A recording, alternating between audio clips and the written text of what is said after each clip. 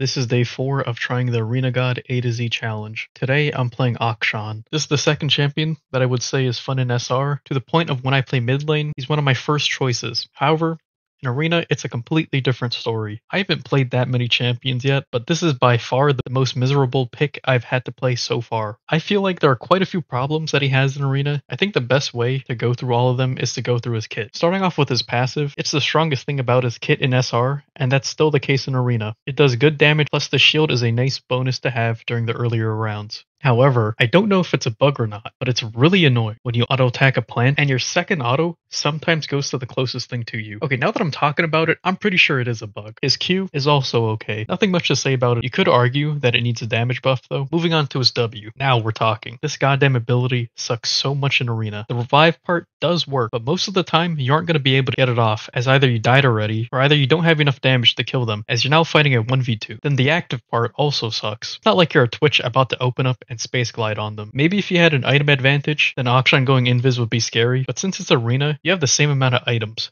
so it's almost never threatening. Maybe they could give Akshan W Garen's old R passive, where somebody is marked as the villain, allowing him to deal bonus damage. I don't really know. At the end of the day, Akshan W really wasn't meant for arena, so maybe it's just doomed to rot. Next talking point is E. There are some angles where it's good, but most of the time, you're never going to get a good E off, as most of the maps are weirdly shaped, or since most of the time, it's relatively easy to get on top of somebody, just end up colliding with them. Again, it really feels like Akshan E wasn't meant for arena, so I don't know where the fix would be. Lastly, his ult. Nothing to say, but Lamau. Now moving on to what really makes him bad in Arena, in my opinion, his itemization. Since he builds on hit or crit, it really leaves him vulnerable. You could maybe band-aid this with an enchanter, but if you do that, it really just feels like a budget ADC enchanter pairing. I was struggling so much that I started experimenting with Bruiser Akshan, going stuff like Titanic, Hullbreaker, and Atmas. Ultimately, I ended up winning with Draw Your Sword, as I think it's pretty broken with Akshan, as he becomes a lot tankier, fixing his major weakness, while still being able to abuse his passive. But if you do this, be careful as your E no longer works. I still think the trade-off is worth it though. In total, it took 11 games. For Arena, I'm giving Akshan a 3 out of 10. TLDR, he really wasn't meant for Arena. Like and follow for more, and check in tomorrow for Alistar.